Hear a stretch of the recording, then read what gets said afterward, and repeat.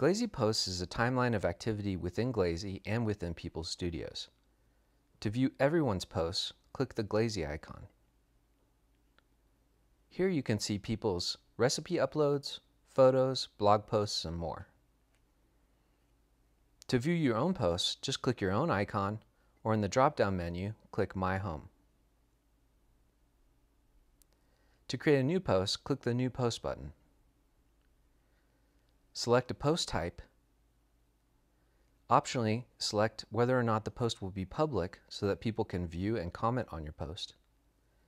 Give your post a title, add details, and optionally add photos. Then click Save. You can search for your post by using a search term or by picking one of the categories.